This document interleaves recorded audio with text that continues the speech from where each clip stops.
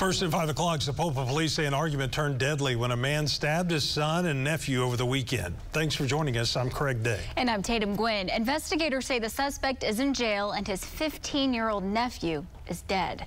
News on 6's Cal Day is live in Sapulpa with new details from investigators. Cal? Well, Tatum Craig, police say that the suspect and the victims all live together in the same house. Right now, investigators are trying to piece together exactly how an argument escalated to this point.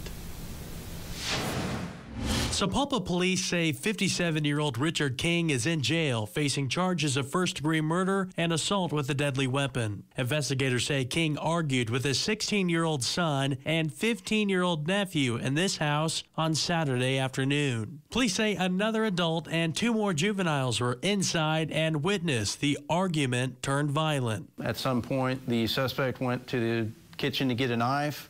Uh, the argument turned physical and then that is when these uh, juveniles were stabbed. Captain Mike Soul with Sapulpa Police says the 16-year-old was stabbed once in the arm. He says the 15-year-old who died was stabbed in the chest or back. Both of the victims were taken to a hospital. Meanwhile, officers spotted King walking away from the house and arrested him. He had blood on his clothing.